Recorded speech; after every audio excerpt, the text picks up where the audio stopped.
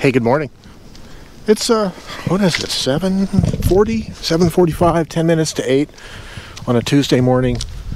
I'm in the far southeast corner of Albuquerque in the Four Hills neighborhood and going on a little morning walk here, little morning hike.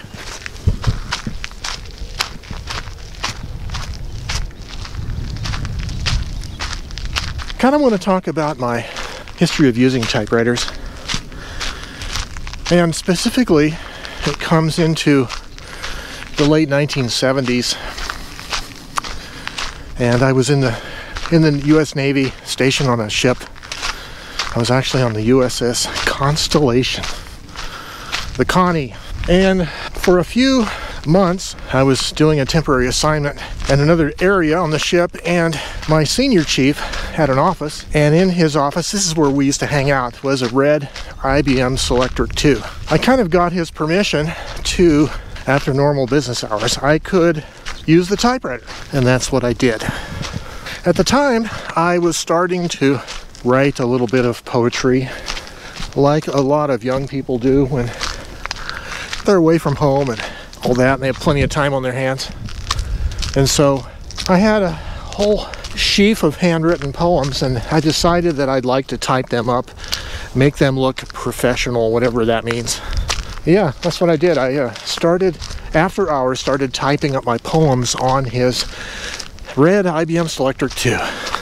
I used his typewriter a lot during the next few months, and I actually remember, I think, when I got back off that temporary assignment, I still would sneak down there after hours and use the typewriter. But toward the end of my enlistment, I had a whole bunch of poems that were handwritten and still needed to be typed up. And I got out of the Navy, and a few months later, I decided that I needed to get a typewriter that would give me the same kind of quality imprint that I was getting from the IBM. And so that led me to going down to a store called Service Merchandise and I bought a Smith Corona Daisy Wheel electronic typewriter. I think it was an SE100. Used the uh, H series ribbon cartridges. Yeah, so this is an uphill walk. Hence my breathing. So I used the uh, Smith Corona typewriter for the next decade or so. Continued to write poetry and typed up a number of poems in several volumes that just to this day remain uh, bound in three ring binders, three ring notebooks, and uh, that's about it. But I would say that was my first experience with typewriters as a practical writing tool where I wasn't really conscious of the machine itself. It was just a tool to get high quality imprint onto paper. So, anyways, not to belabor the whole history of the typewriter in my life, but the thing I noticed was the electronic typewriters were very much transparent to use. I mean, in the sense of they didn't really require much effort, finger effort hand strength and all that. But there was always this self consciousness about the fact that the ribbons were only one time use. The cartridges for the Smith Coronas, if you did a lot of writing, you'd run out of ribbon and then you'd have to go buy another cartridge. So it began to be conscious to me that there was kind of a cost associated with electric typewriters, electronic typewriters, in the sense that Polaroid cameras and cartridge type razors are constantly needing refills.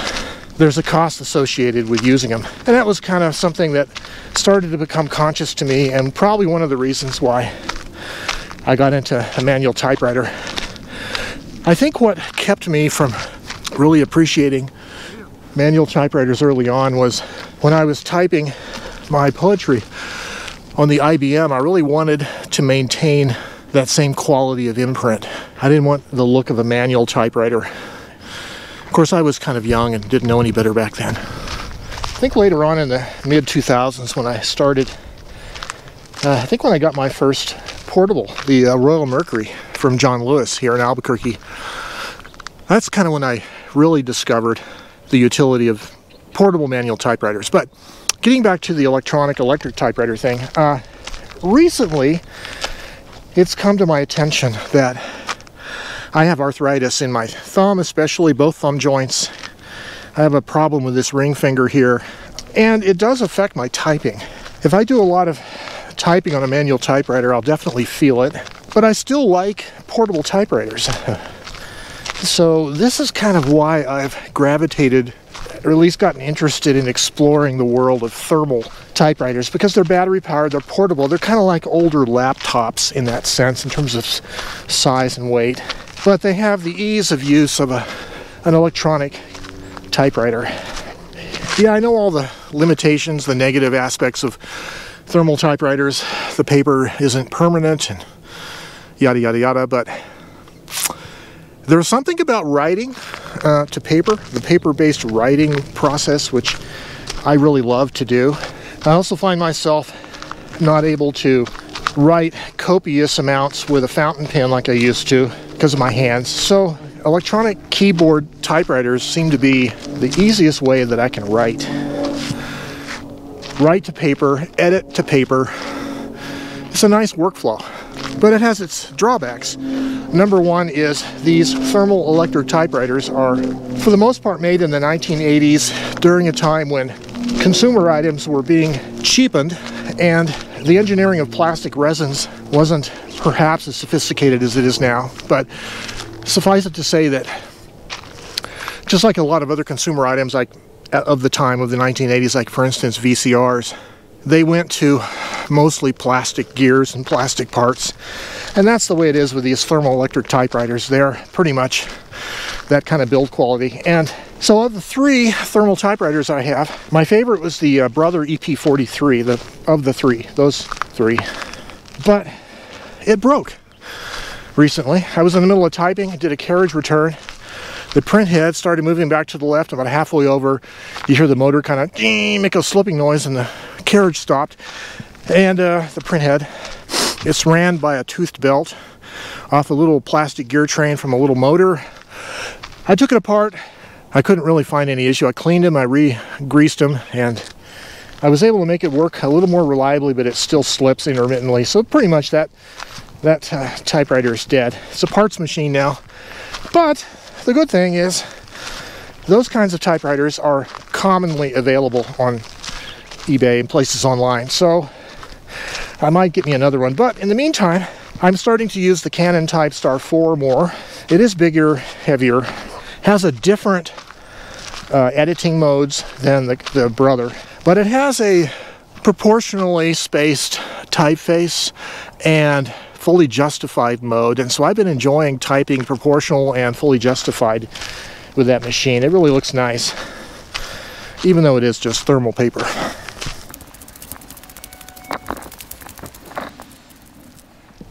The challenging thing about being limited in how much manual typewriter use I can get, especially when I'm in the middle of a writing project and I want to do a lot of writing, and that sort of forcing me to, for a paper-based workflow, going to electric typewriters of some kind. The problem with that is I really do like to to write out in public. I, I find inspiration from the stimulation of you know going to a coffee shop or someplace or even out picnic table at a city park or whatever you're limited by the kinds of electric typewriters you can take out and about away from house current i think there was one or two smith corona daisy wheel typewriters that were battery powered but they they were heavy and not very good but that kind of leaves for this kind of a workflow, it only leaves one option, really, which is thermal typewriters. As I said before, I think they're they're kind of a hybrid device, part of a hybrid workflow, I should say. If you're in a writing project, you're going to want to edit your work. Usually that means scribbling in the margins and between the lines by hand, and then retyping, rewriting. Usually for me, it's several phases of paper-based editing and writing before the piece starts to look finished enough that I'll transcribe it in a word processor and during that phase do some more edits. And that's where basically just needs to be polished. That's kind of my personal workflow. One of the advantages I find with writing to paper is that you can see the whole page at once.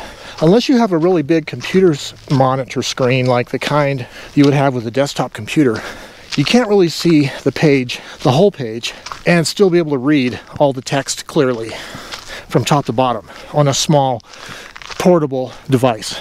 And that's sort of the advantage of paper, right? You have a printout, a typewritten sheet. You can scan that thing top to bottom, move your eyes around. Typewriting is great for the first capture, the early phase of writing, and it's also great for the intermediate editing phase where you could see the whole page all at once.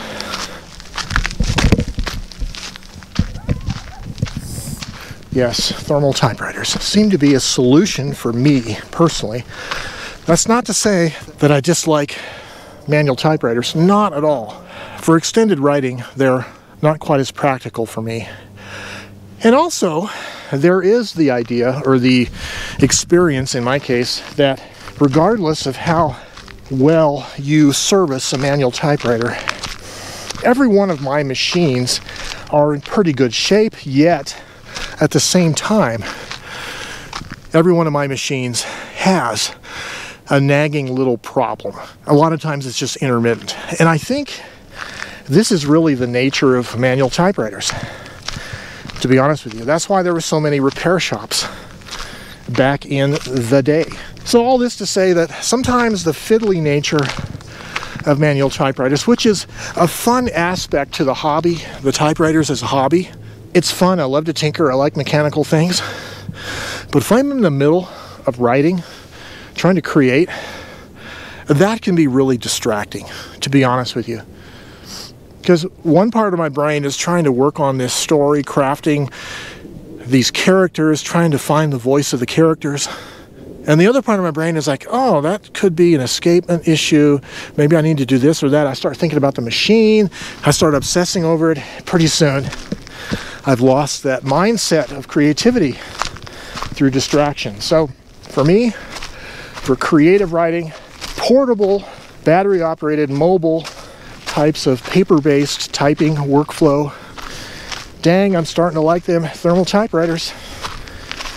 Hate to say it, doesn't mean I'm going to give up manual typewriters anytime soon, but for my limitations and my uses, yeah, they're starting to starting to sound pretty good to me. What a nice morning. I was talking to my next door neighbor the other day. I think it was Sunday. And as the conversation was winding down, he suddenly asked me, How's the book coming along? And I was kind of startled for a second. I just said, Oh, fine, fine. Didn't say much else. But, uh, you know, I didn't, I don't have a book. I don't know where he got the idea that I was writing a book. Well, he knows that I dabble with typewriters, so probably he's thinking, you know, he's a writer, not a typewriter dabbler, which, as you guys know, is two different things, right? But I kind of took it as a sign, a sign from God or from the universe that maybe he's trying to tell me that I need to start writing a book. Since I sort of acknowledged I was, and in order for me not to be lying to him, yeah, I guess I'm writing a book. The only problem is I I just don't know what it's about yet. But it'll come to me. Probably another good reason to uh, pull out one of them daisy wheel typewriters. I have two electronic daisy wheel typewriters made by Nakajima you would think, given my little arthritic, poor little hands, that I would be using those more often. And actually, you're correct. Currently, the typewriter I've had in my office for a few months on the typing table is the Olympia SG3. It's a great manual machine, probably one of the best manual machines ever made. But I don't really like to use it for extended writing sessions, obviously, but I should probably break out the daisy wheel machines and not worry about using the carbon film ribbons. I should probably do that. So I'm changing the subject here slightly, but when I was in high school, I used to ride a 10 speed bike, a yellow Schwinn Varsity. It was a hand me down. Belonged to my dad, and then my older brother had it. When he left home, I had it. I I used to ride from Northeast Albuquerque over here to this part of Four Hills and hike these foothills around the big boulders and watch the airplanes take off and land at the runway right down there. So that was fun. That was back in the early 70s when this part of town wasn't so busy and you could actually ride a bicycle on a major thoroughfare without risking getting killed. But I uh, wouldn't do that these days. Yeah, so these old foothills are kind of familiar to me. And we're actually on the Manzano Mountain side, or so Tijeras Canyon. Basically, we're Interstate 40 cuts east through the mountains. So north of there is the Sandia Mountains. South of there is the Manzano Mountains. So we're sort of technically in the Manzano Mountains. Manzano being Spanish for apple.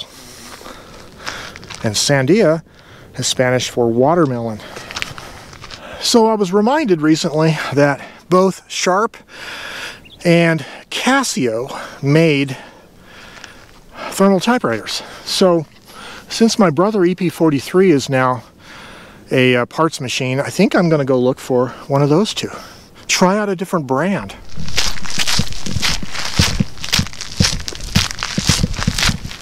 Okay, this is Joe Van Cleave, hiking in the foothills, Four Hills, next to Manzano Base. Let me know your thoughts down below. What do you think about thermal typewriters? Do you have hand issues? Are you old enough to have arthritis? Can you write extended sessions on a manual typewriter? Do you have problems? Do you prefer electric typewriters, electronic typewriters?